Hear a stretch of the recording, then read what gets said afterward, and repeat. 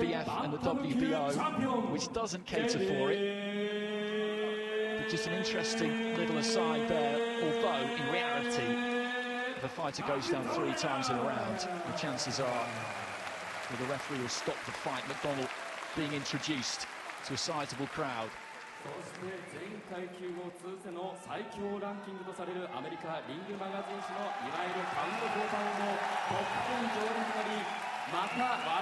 の想像をはるかに超えるスピードで急成長を続 Despite け being てい a る challenger, 怪物が it's a new way he was announced second. そのプロ成績は15戦全勝この全15勝のうち13勝がロックアウト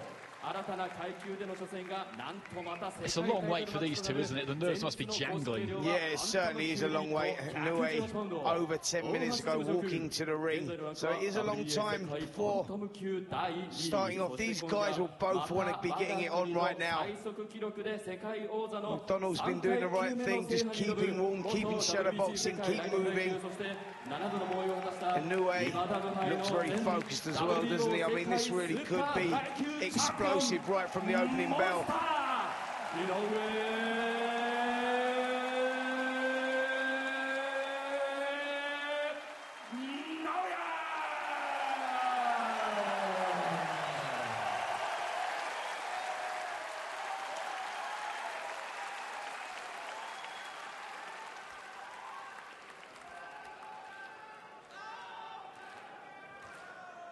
Okay, guys give you introduction in the dressing room.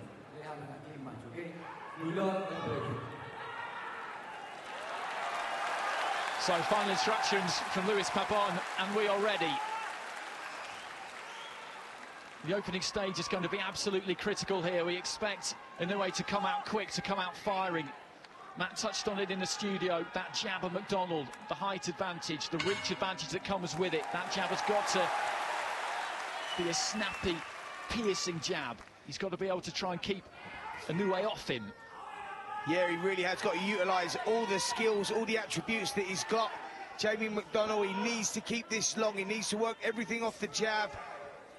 Nice movement from side to side. Keep that head moving. We know Inoue is going to look to get on the inside. Really does double up well, well to the hooks to the head and the body Inoue. Wax reviver hand. So this is the tactics that we need to see from McDonnell, Just keeping it long. Looking for that right hand, looking for the left to the body as well early on. That's a danger shot for Inoue. McDonnell just taking the weight back into the ropes there, just dropping those elbows on that left hand. Yeah, I think McDonnell may have felt the weight of a couple of those body shots there. And Inoue rushed in, didn't he? And really switched those attacks downstairs. And I think McDonnell felt that.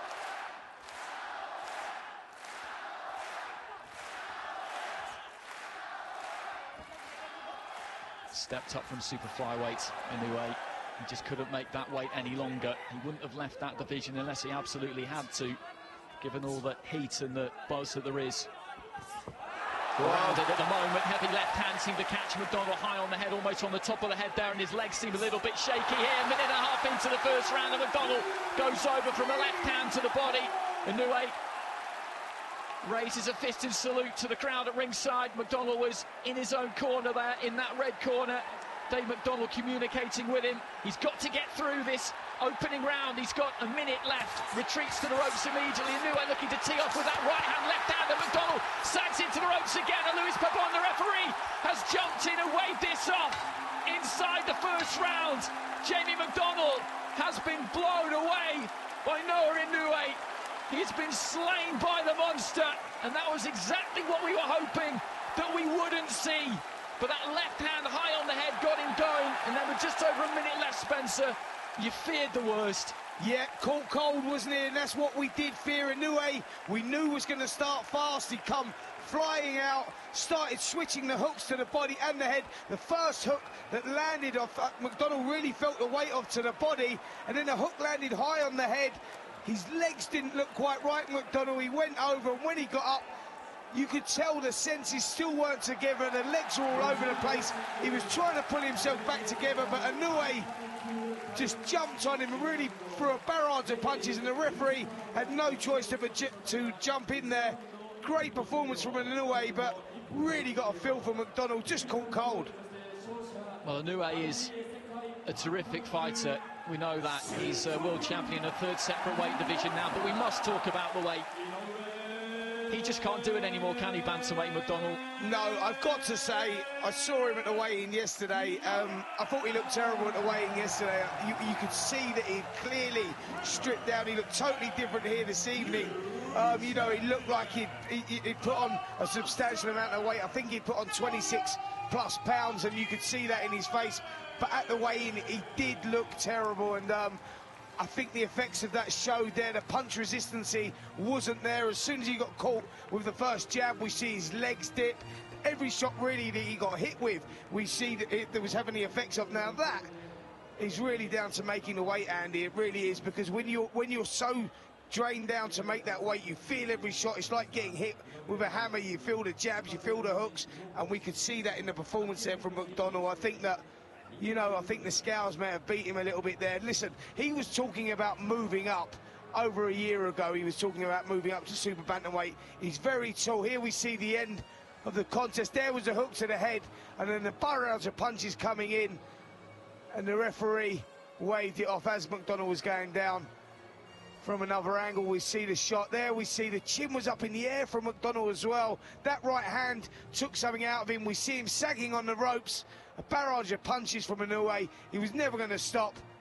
And the referee rightly waving it off there. And there we see the phenomenal punching power from Inoue. And he was really out of his depth here this evening, McDonnell. But as I was saying and talking about, I think a lot of that was down to making the weight. And, and as I said, he was trying, he's been struggling for over a year now.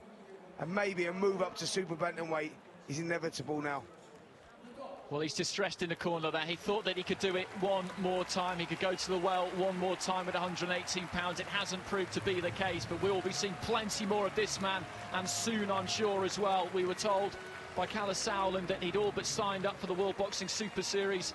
Inoue, we know that Manny Rodriguez is in it, Zolani Tete's in it, Ryan Burnett is in it. We'll have to wait and see what is next for McDonnell. If he's going to continue, then he will need to step up, of course, to Super Bantam.